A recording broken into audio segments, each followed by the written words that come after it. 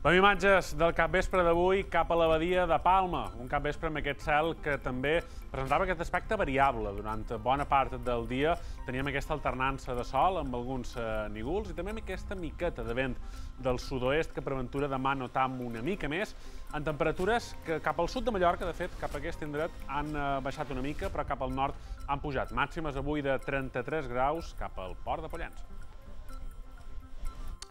Molt bon vespre. Aquesta situació de variabilitat que ens ha acompanyat aquests darrers dies apareix que demà eh, canviarà cap a més estones de sol. Demà tindrem un cel més radiant, veurem lluir d'una manera molt més clara el sol i això també facilitarà que les temperatures puguin pujar una mica, eh, principalment les màximes, amb aquests registres que ja es podien apropar bastant en aquests 35 graus, però sempre amb aquests canvis que veiem cap al cap de setmana perquè per ells voldríem tornar a tenir una davallada dels termòmetres entre dissabte i diumenge, amb entrada de passadís de vent del nord.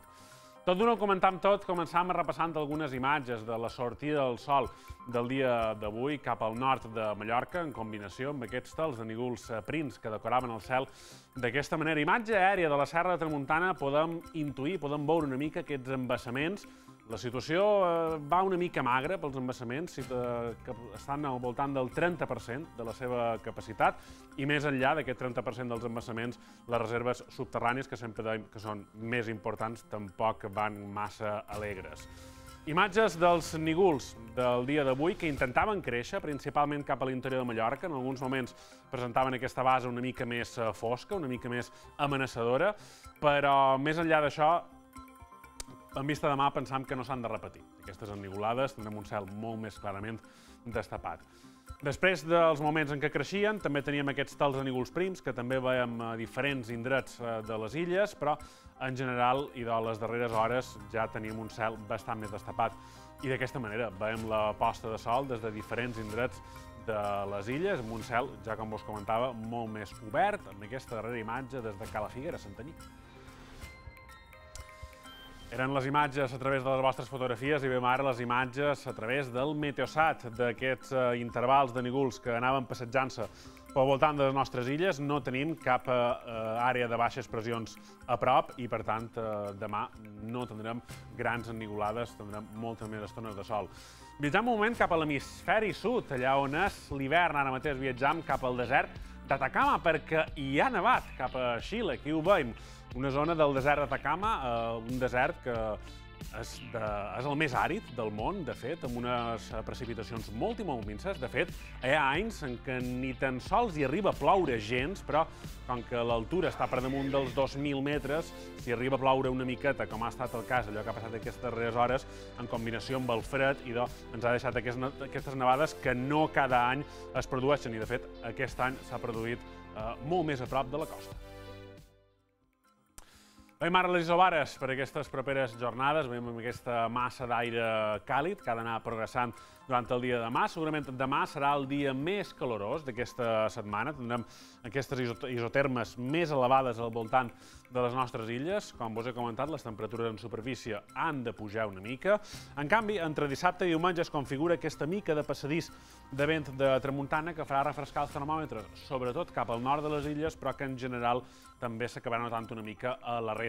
Una tramuntana que segurament seria, eh, es donaria sobretot dissabte, no tant en vista a diumenge.